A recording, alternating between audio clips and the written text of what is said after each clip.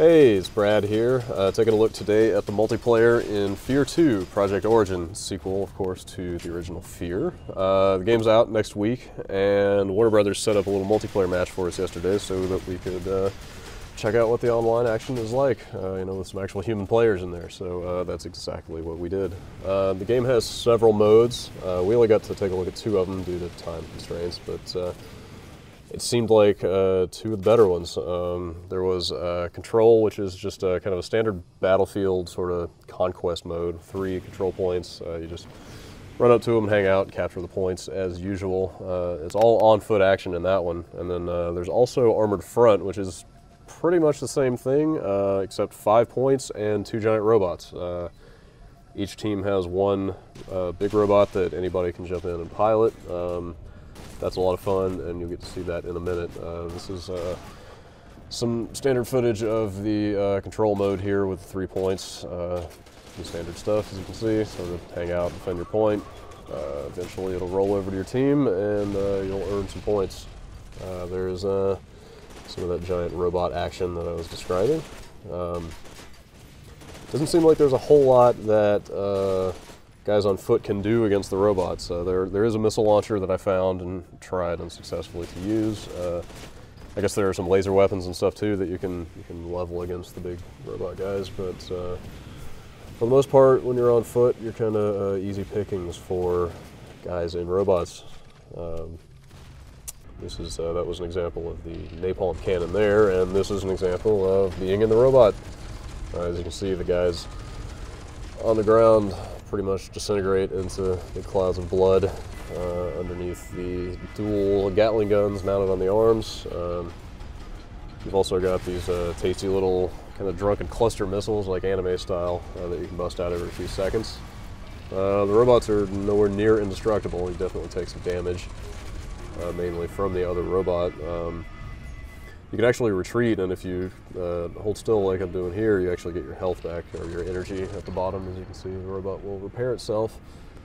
Uh, but the respawn time is actually also pretty short on the robot, so uh, it's just as valid to just uh, kind of bail out, let the robot blow up, wait for it to respawn back at the like kind of your team's end of the map, and then go jump back in it and kill anew.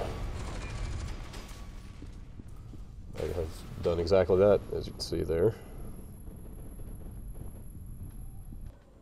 Uh, there's a pretty standard loadout kind of menu thing, sort of like what's going on in Call of Duty 4, except uh, unlike over there where you're unlocking stuff in different categories, here you have like a, a common tally of points.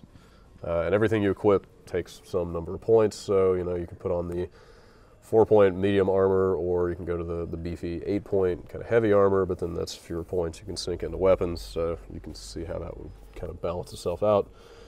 Uh, plenty of you know shotguns, pistols, sub and full machine guns, sniper rifle. The the weapons pretty much seemed uh, standard. You got the, got your dot sight going on. Um, for the most part, they behave like kind of standard first-person shooter multiplayer weapons do.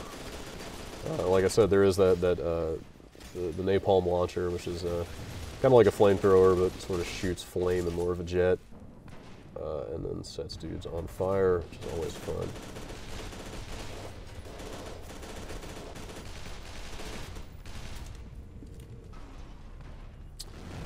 The uh, the controls are pretty standard. Also, uh, if you play all the stuff like you know Halo, Call of Duty 4, you should be pretty pretty used to most of the controls here. You know, the sprint is where you would expect it to be, the reload, the melee, it's uh, all fairly easy to figure out. Um, most of the kind of unique fear specific sort of embellished animations and such, you know, the melee uh, in the air, like the jump kicks and all the, the, crazy animations that go on in the single player, uh, those don't really seem to be in effect too much in the multiplayer that I saw. Uh, you do have uh, the one the one move, the uh, sort of baseball slide that you can do by basically just sprinting and then uh, kind of hitting melee, and you'll just sort of uh, slide into a crouch. Uh, but there's no cover mechanic, so like that, that's it's not really necessary for snapping onto a, a cover point or anything. It just kind of gets you into a crouching position a little faster. Um, here's an example of the napalm launcher. Uh, seemed pretty effective you can see that it uh, kind of looks like, well, doesn't really set the robot on fire too much. I don't think it will damage the robot very much. I never managed to get the, uh, the missile launcher to connect with the robot either, so I really can't say how easy it is to actually take one of those stupid things down uh, when you're on foot.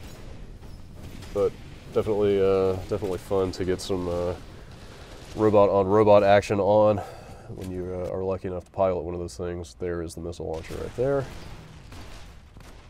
Still effective against uh, infantry, of course.